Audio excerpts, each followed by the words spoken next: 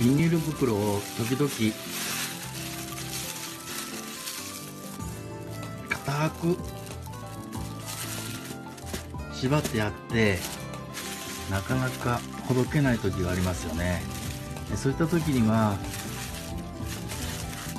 どちらでも構わないのでぐるぐる巻きにしていきます。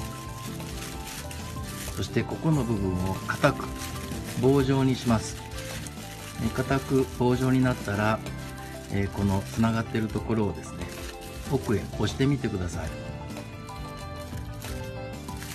そうすると取れます。